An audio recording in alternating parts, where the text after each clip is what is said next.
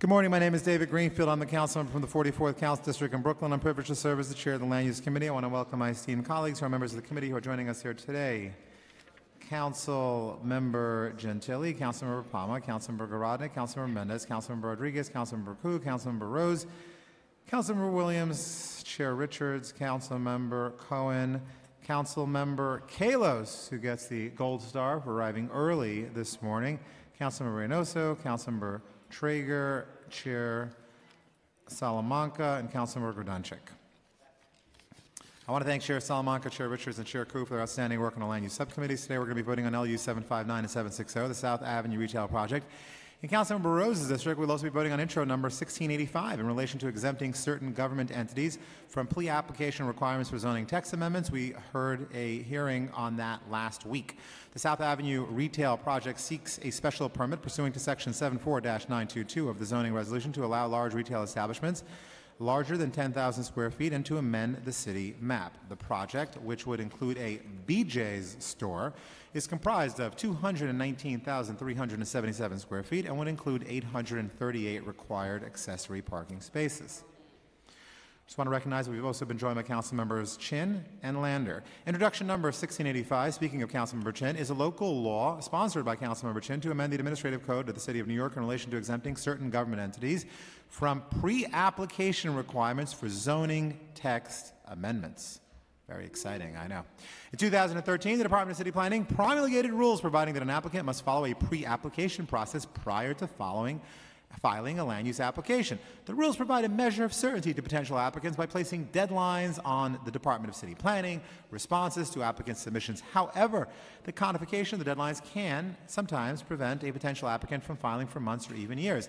Introduction 1685 would allow the mayor and mayoral agencies, the borough presidents, and the Land Use Committee of the New York City Council, upon a two thirds vote of its members, to opt out of the pre application process when filing a zoning text amendment. Are there any questions or remarks on these applications?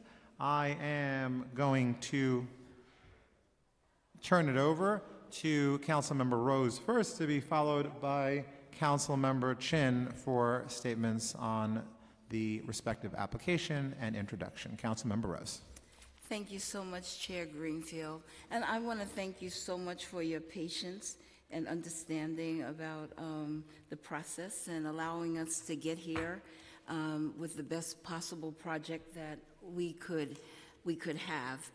And so um, we have here before us today an application for a zoning special permit to allow retail establishments larger than 10,000 square feet and a mapping action that will remove unbuilt map streets to prevent development in adjacent wetlands on a property located at the corner of Forest and South Avenues in the neighborhood of Mariners Harbor. There's been a lot of misinformation swelling around this development. So let me set the record straight. All tidal wetlands will be protected and strengthened, and with the removal of harmful invasive species and the planting of 2,200 native trees and 9,600 shrubs, while preserving more than 1,100 existing mature large trees. I've spent hours in meetings with applicants with land use experts and with local residents to arrive at a project that delivers smart planning, environmental preservation, sustainability, resiliency, and economic development. On several occasions, I hosted meetings in my office that allowed residents to speak directly with the developers and environmental and traffic specialists to resolve their legitimate concerns. I've been sensitive to the feedback from all voices, positive and negative, and I've taken their feedback to the negotiating table and worked up to the last minute, as this is testament to, to secure the best outcome for my constituents. But let me be clear the applicants can put shovels in the ground tomorrow for a project of the same footprint with no approval from the City Council needed. But by undertaking this land use process, we have now a development that respects the needs of this environmental justice community, increases our resiliency, decreases our carbon footprint, and brings jobs to local residents and groceries to a food desert. While the applicant is required by state and federal regulations to manage all storm water, all storm water on the site at the same rate as the land currently does, my negotiations have secured a commitment to construct several additional bioswales. A bioswale filters stormwater and diverts it from city storm drains. In this case, they hold and filter stormwater and release at a rate and pattern identical to the current conditions. This project has a series of eight-foot wide bioswales throughout the parking lot, as well as two 16-foot wide bioswales in the parking lot. The applicant has also committed to a large aerated retention pond area, new trees, and dry wells in the parking lot. As a result of our negotiations, the applicant will install additional bioswales along all of the proposed street tree pits at the perimeter of the project site and include permeable pavers on the sidewalks lining the enlarged bioswales proposed on the site. Finally, in our negotiations last week, the developer agreed to add a sizable 14,119 square foot bioswale at the northwestern portion of the site. These improvements made during negotiations increased the permeable space on the site by 16,000 square feet over the original proposal. These features will manage rainfall from storms that well exceed the rainfall of hurricanes Irene and Sandy combined. The applicant has also committed to a landscape screening along the length of South Avenue to preserve the existing aesthetics. Through my negotiations, I also secured a public viewing area of the wetlands along the southwest portion of the development site that will include public benches and signage to, prov- to provide information about existing natural features. The applicant has committed to installing solar panels on the roof of the development, as well as skylights, cool roof enhancements, and LED motion-detected lighting to minimize the carbon footprint of this development. The applicant is required to file documentation with the state to ensure that the development is meeting all requirements to manage stormwater on this site at the rate that existed before development, and that the new plantings are functioning as described in the stormwater mitigation plan. These documents will also be filed with my office. Additionally, we are including a traffic monitoring program that will be developed in close coordination with my office. We will begin this study sooner than originally proposed to ensure minimal disruption to neighboring residents. A second traffic monitoring program will include other intersections of concern that may be impacted by new construction proposed in the area in the next two years. All large truck traffic will use Forest Avenue, which is a commercial corridor, rather than a more residential South Avenue. The applicant will meet with my office quarterly to review the traffic mitigation program and address any traffic concerns produced by this project. The largest expected tenant on the site, BJ's Wholesale Club, will host a job fair with my office to provide in-person opportunities to meet hiring representatives, providing early notification to Community Board One and my office of other job hiring opportunities, and reporting to my office on the results of their local hiring efforts. The applicant has also committed to soliciting bids for construction contracts and subcontracts from local and MWBE businesses. The applicant will encourage future tenants on the site to conduct the same outreach efforts as BJ's. I want to be clear to anyone who's encouraging a no vote on this project. A no vote would bring us a development with the same footprint, but without any of these commitments that I just listed. A no vote would mean no increased permeability and bioswales, no solar panels and skylights, without benches and signage, no measures to preserve aesthetics, no local and MWBE hiring commitments, and no traffic evaluation or mitigation. Contrary to what some have said, this land, agree, land use agreement is a win for protecting the environment. I am voting yes on this application because after months of negotiations, we have a project that represents smart, forward thinking, environmentally conscious planning and responds to the real concerns and needs that I hear overwhelmingly from the community. And I urge my colleagues to vote yes with me. I want to thank Speaker Melissa Mark Viverito for her help and assistance. I want to thank our Land Use Chair, David Greenfield, once again for his patience and, um, and for enduring. It takes me longer to read my statement than you. You're a speed reader. Um, and I want to thank Zoning Chair Donovan Richards for um, his advice and expertise. And I want to thank Ramon Martinez for what Ramon does. Ramon, thank you for getting us here. And I want to thank our amazing land use team, Raju Mann, Amy Levitan, Julie Lubin, and John Douglas for answering all of our questions, putting up with all of our crazies, and for um, helping us deliver a project that is environmentally sound and smart. Thank you so much. Thank you, Councilmember Rose. Congratulations, and uh, certainly uh, appreciate the importance of what you're doing, especially considering to your point that you made is that this property is currently zoned for a strip mall, and uh, you are going to now allow a BJ's, but with uh, incredible environmental protections that have never happened before anywhere on Staten Island. So that's a significant achievement, and we congratulate you for uh, making those improvements. I want to recognize that we've been joined by Councilmember Levin, Councilmember and Chair Koo, Councilmember Barron, uh, Peter Parker, aka Jumaane Williams, rocking the uh, rocking the disguise today.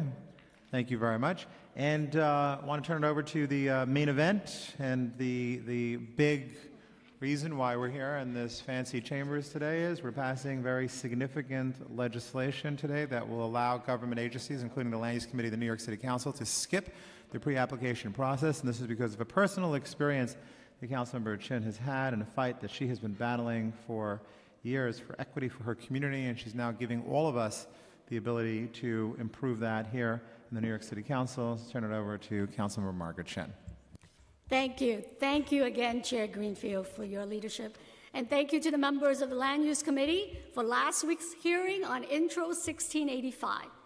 This is a critical piece of legislation that would allow certain kind of land use applications submitted by the City Council and Borough President's Office to submit complete land use application to the New York City Department of City Planning without completing the time consuming, repetitive, and sometimes futile pre application process. Last week, we heard testimony from the Real Estate Board of New York calling this legislation a threat to as of right development. I couldn't agree more. For too long, Lower Manhattan has been subject to as of right super tall structures. It's clear that we need better tools to advocate for community based land use applications. For years, we have seen these enormous buildings rise over our communities with little or no transparency or public review. Our communities are under threat. People who have no other low income house, housing options are now faced with the frightening reality of losing the neighborhoods they worked so hard to build. We must give these residents a fighting chance, and we must do it quickly. The ability to submit a complete land use application without having to jump through bureaucratic hoops must be allowed to give our communities a fighting chance in this war against overdevelopment that is altering the landscape in such a way that residents of just a few years ago would be more at home on the moon than in their own neighborhoods.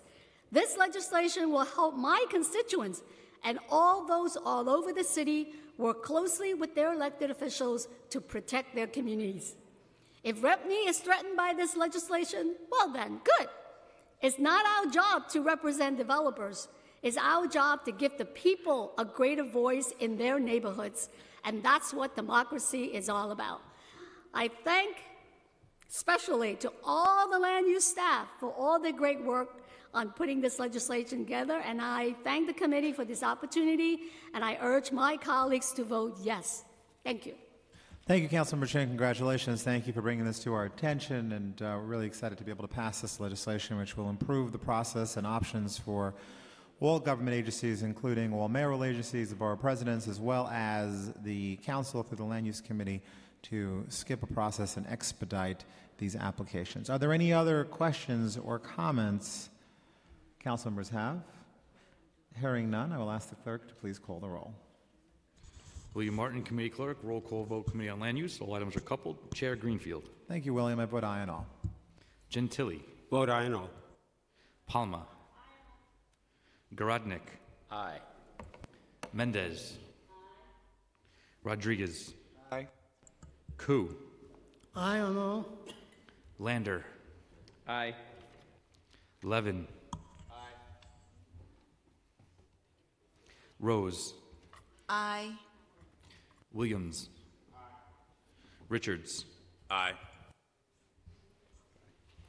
Barron. Councilmember Barron to explain her vote. Thank you. Um, I'm voting no on Land Use 759 and 760. It is, I think, a development project that would, in the long run, do great damage to our ability to protect our environment. There's a large number of trees that are going to be removed, and although the developer has said he would plant new trees, it will take decades for those trees to mature, and the impact on the ecosystem between the woodlands and the wetlands would be greatly disturbed. And advocates for environmental justice and looking long range to protect our environment are speaking against this, so I'm voting no on that project. I on the other. Thank you.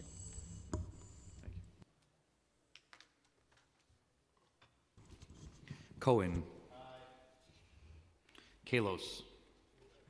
Permission to explain my vote? Councilmember Kallos to explain his vote and costume choice for Halloween.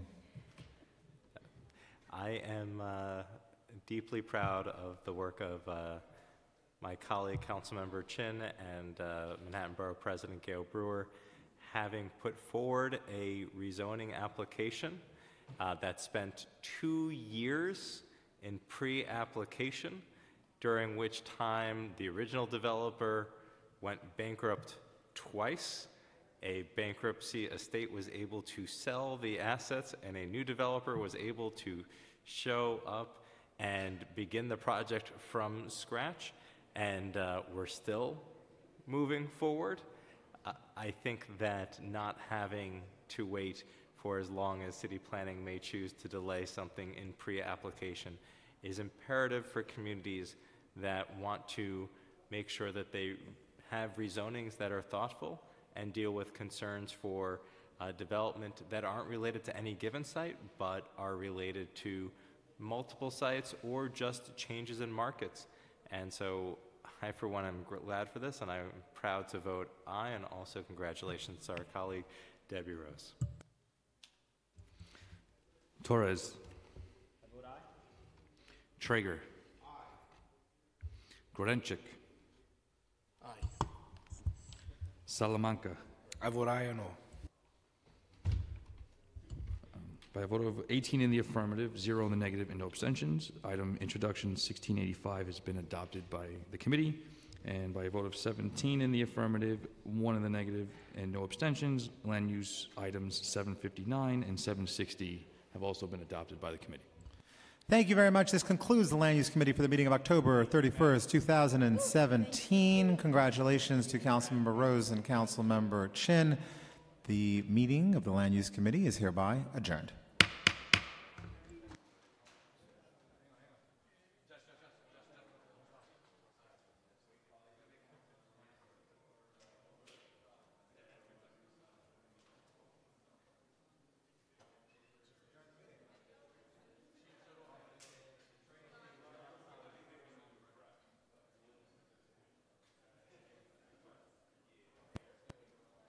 We're going to reopen the meeting just to correct the vote for the record. William? Introduction 1685 has correction, has been adopted by the committee, 19 in the affirmative, 0 in the negative, and no abstentions. Thank you. Thank you. This concludes the Land Use Committee for the meeting of October 31st, 2017. This meeting is hereby adjourned.